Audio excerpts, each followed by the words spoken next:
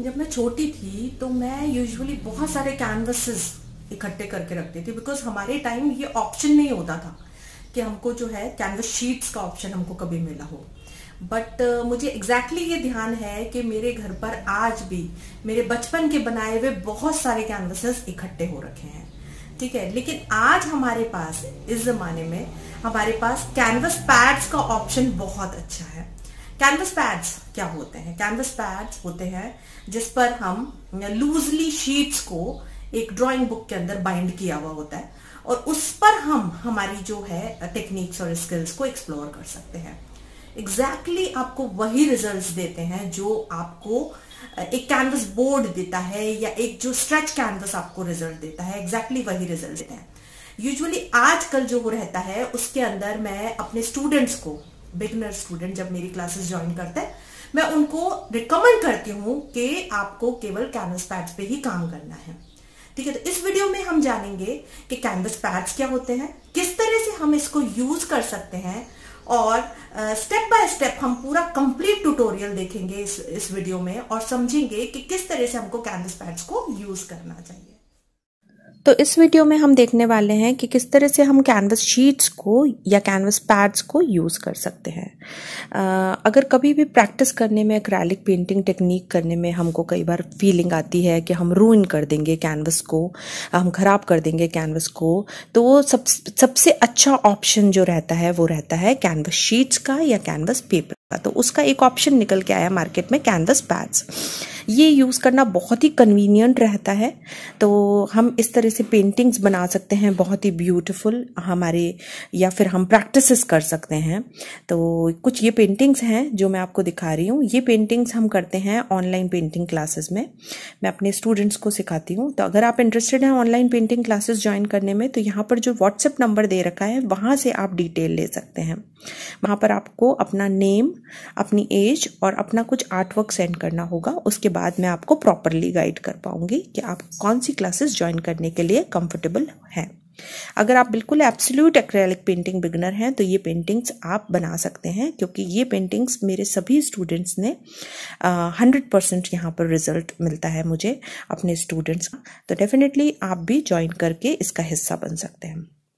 चलिए canvas pads के बारे में बात कर रहे थे तो कैनवस पैड्स यहाँ पर जो है ये बड़ा साइज़ है और यहाँ पर छोटा साइज़ है। तो सभी का यहाँ पर हम स्टेप बाय स्टेप ट्यूटोरियल देख लेते हैं कि किस तरह से हमको कैनवस पैड्स यूज़ करने चाहिए। कैनवस पेपर होता क्या है? ये कैनवस पेपर हैवी पेपर होता है।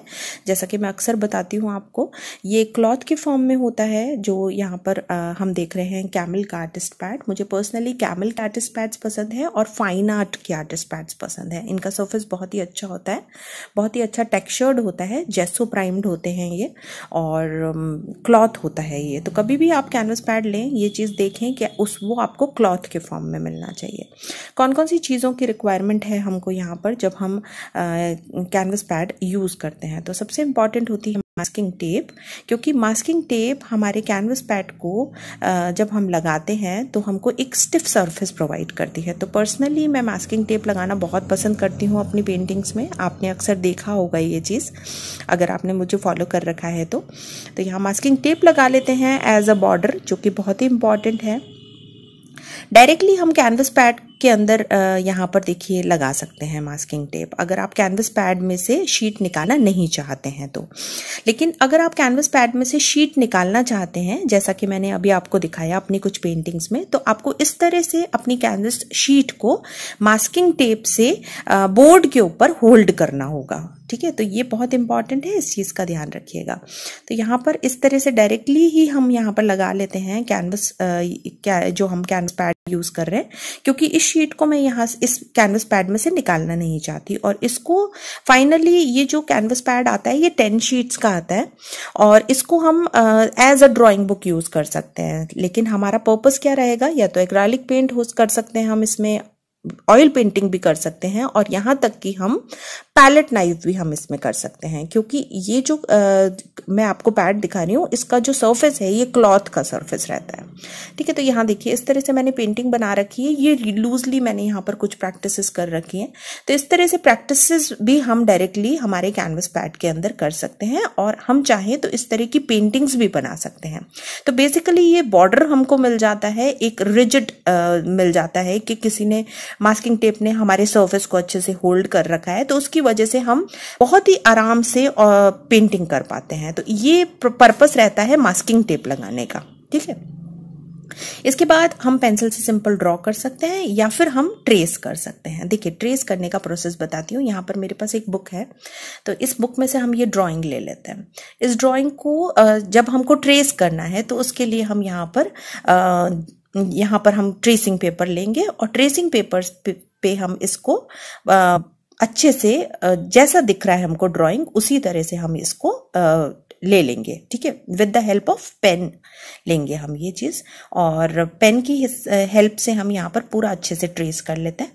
और यहाँ पर मैंने पूरा अच्छे से देख ले लिया है। अब हम इसको लगाएँगे कैसे? इसको लगाने के लिए हम यूज़ करेंगे yellow carbon paper yellow carbon paper इसलिए अच्छा रहता है क्योंकि उससे आपकी लाइंस वगैरह नहीं दिखती है, ठीक है? तो यहाँ पर येलो कार्बन पेपर यूज़ कर लेंगे हम। ट्रेसिंग पेपर को अच्छे से हम स्टिक कर लेंगे मास्किंग टेप की हेल्प से।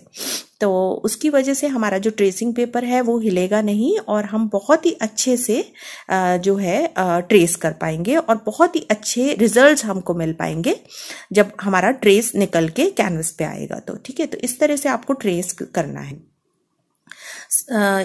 तो यहाँ पर हम ट्रेस कर लेते हैं। जब भी ट्रेस करते हैं, इस चीज़ का ध्यान रखना है कि ट्रेस करते समय हमारा जो ट्रेसिंग पेपर है, वो हिलना नहीं चाहिए। अगर हमारा ट्रेसिंग पेपर हिलेगा तो हमारा जो ट्रेस है, वो अच्छा नहीं आ पाएगा कैनवस के ऊपर या सरफेस के ऊपर, जहाँ हमको चाहिए। देखिए, ये जो कैनवस पैड्स होते हैं ना, ये बहुत अच्छे होते हैं। इवन हम पैलेट नाइफ टेक्निक भी इसके ऊपर यूज़ कर सकते हैं। मैं अपने स्टूडेंट्स को पैलेट नाइफ टेक्निक भी कैनवस पैड्स पर ही यूज़ करना बताती हूँ। तो नई नई टेक्निक्स को आप आप एक्सप्लोर कर सकते हो। आपके ऊपर कोई प्रेशर नहीं होता है। दस शीट का एक जो है कैनवस पैड आ जाता है, जिसमें हम अगर कैनवस बोर्ड्स लेने जाएँ तो दो ही आएँगे। ठीक है तो इतना ज़्यादा इकोनॉमिक पड़ता है हमको, ये इतना ज़्यादा अफोर्डेबल पड़ता है हमको ये। तो इस वजह से कैनवस पैड्स मुझे पर्सनली पसंद है और मैं यूज़ करती हूँ। देखिए, ये जो कार्बन पेपर है, इसको आप रख सकते हैं, साथ में ये शीट भी आप रख सकते हैं और इसको वापस रीयूज़ कर सकते हैं। तो यहाँ हमारी ड्राइंग हमारे कैनवस शीट के ऊपर प्रॉपरली आ गई है और अब हम इसको पेंट करना स्टार्ट करते हैं। तो पेंट यहाँ पर हम जो कर रहे हैं, वो एक्रेलिक पेंट्स कर रहे हैं और इसके लिए मैंने पैलेट ले लिया है और कुछ पेंट से हम यहाँ पर पेंटिंग करना स्टार्ट करते हैं। कैनवस पैड्स एक बहुत ही अच्छा ऑप्शन रहता है। इनएक्सपेंसिव ऑप्शन है ये। जो भी मटेरियल मैं यहाँ यूज़ कर रही हूँ, उसका लिंक में आपको डिस्क्रिप्शन बॉक्स के अंदर ऐड कर दूँगी। साथ में अभी इन दिनों मैंने कैनवस पैड्स मंगाए हैं। मेरे एक जो डीलर हैं उन्होंने मुझे सप्लाई करे हैं कैनवस पैड्स तो उस, उनका नंबर मैं आपको नीचे डिस्क्रिप्शन बॉक्स के अंदर ही डाल दूँगी। तो इन केस अगर आप कैनवस पैड्स मंगवाना चाहते हैं तो उनके पास सभी साइजेस में कैनवस पैड्स अवेलेबल हैं। जैसा कि मैंने अपने पिछले वीडियो में भी आपको साइजेस एक्सप्लेन करे थे। अगर आपने साइजेस नहीं देखे हैं पिछले वीडियो में में देखना चाहते हैं, जानना चाहते हैं कैनवस पैड के बारे में थोड़ा और ज़्यादा तो आप उस वीडियो को अच्छे से देख सकते हैं। कैनवस पैड्स जो है, वो देखिए आपको प्रेशर नहीं क्रिएट होता है कि मेरा कैनवस खराब हो जाएगा या मेरा स्ट्रेच कैनवस खराब हो जाएगा। उसकी वजह से कैनवस पैड्स बहुत ही सक्सेसफुल हैं, बहुत ही ज़्यादा मैं लाइक करती हूँ और अपने स्टूडेंट्स को भी कैनवस पैड्स के ऊपर ही काम करने के लिए रिकमेंडेशन देती हूँ। आराम से हम इसके ऊपर ऑयल पेंट्स करते हैं एक्रेलिक पेंट्स करते हैं और यहाँ तक कि पैलेट नाइफ हो गया। इस तरह टेक्सचर पेंटिंग्स भी हम कैनवस पैड्स पर करते हैं। इसके अलावा जैसे कोई भी हमको जब जब हमको लगता है कि हमारी पेंटिंग बहुत अच्छी बन गई है तो उस समय हम क्या कर सकते हैं? जो भी कैनवस शीट है, उसको हम फ्रेम करा सकते हैं अकॉर्डिंगली जैसा कि हमको चाहिए हमारे रूम के लिए। तो ये बहुत ही ज़्यादा फ्रीडम देता है कैनवस पैड हमको जब हम कैनवस पैड पे काम करते हैं तो। तो यहाँ पर मैंने आपको स्टेप बाय स्टेप एक्सप्लेन करा है कि किस तरह से हमको कैनवस पैड को यूज़ करना है। हम सेपरेट शीट्स के फॉर्म में भी यूज़ कर सकते हैं कैनवस पैड्स को और हम इस तरह से कैनवस पैड को एज अ ड्राइंग बुक भी यूज़ कर सकते हैं। साइजेस जो अवेलेबल है इसके अंदर बड़े बड़े साइजेस अवेलेबल रहते हैं मार्केट में। जैसा कि मैंने पिछले वीडियो में आप लोगों को बताया था ए टू साइज़ तक भी अवेलेबल है जो मैंने मंगवा रखा है। तो बड़े बड़े कैनवस जो पेंटिंग्स हैं, वो हम बना के रख सकते हैं और इनको हम अच्छे से बनाकर और हम अपने कलेक्शन के अंदर, हमारा कलेक्शन बढ़ा सकते हैं। आपकी जो जगह है, वो भी नहीं घेरते हैं ये इतना ज़्यादा। आपका जो सरफेस है, वो क्योंकि सरफेस को हम, ये जो सरफेस होता है, इसको हम रोल करके रख सकते हैं। तो इतना ज़्यादा हाँ जो जगह है, वो भी कंज्यूम नहीं करते हैं ये। तो चलिए, उम्मीद करती हूँ वीडियो बहुत ही हेल्पफुल रहा होगा। अगर इस पेंटिंग का ट्यूटोरियल देखना चाहते हैं तो नीचे कमेंट बॉक्स में ज़रूर ऐड करिएगा कि हम इस पेंटिंग का ट्यूटोरियल देखना चाहते हैं।